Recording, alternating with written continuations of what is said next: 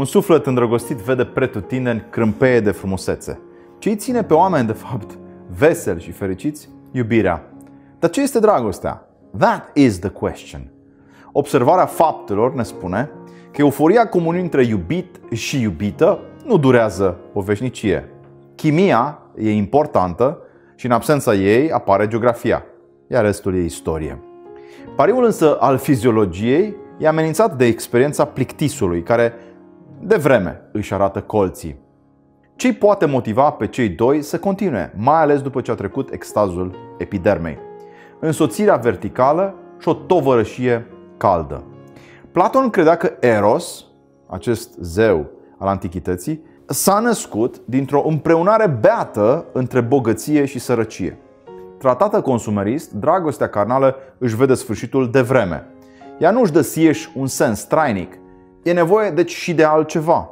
De o zare luminoasă, de un orizont fertil, de o transcendență nemișcată.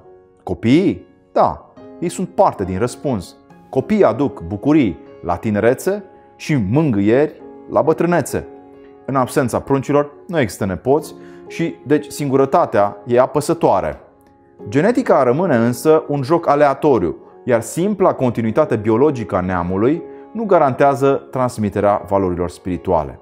Copiii se răzvrătesc uneori împotriva părinților. S-a întâmplat cu fiul risipitor care s-a răzvrătit împotriva tatălui. S-a întâmplat cu Smerdiakov, care s-a răzvrătit împotriva lui Fiodor, în frații Karamazov. Oricât de promițător, elementul ereditar poate fi subminat de factorul cultural. E nevoie deci de o transcendență a iubirii, de un dincolo infinit, suveran, inepuizabil. Numai privind la dragostea dimineții, îndrăgostiții vor înfrunta curajos nopțile friguroase ale existenței, luminate de sfeșnicul dragostei dumnezeiești, chipurile îndrăgostiților atunci se transfigurează.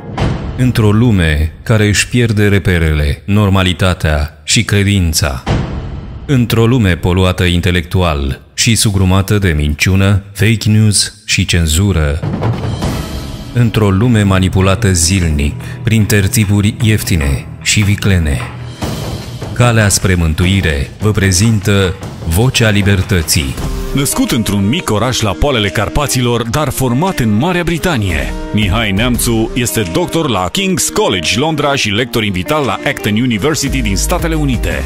Depășindu-și fricile și timiditatea, Mihai Neamțu a susținut sute de cursuri, conferințe și intervenții live, contorizând aproape 10 milioane de vizualizări pe Facebook, YouTube și Instagram. Sunt Mihai Neamțu și te chem să fii și tu o voce a libertății și a frumuseții pentru o Românie deșteaptă. Calea spre mântuire vă prezintă Vocea Libertății în fiecare luni seară, începând cu orele 21, live, în exclusivitate pe canalul de YouTube Calea spre mântuire.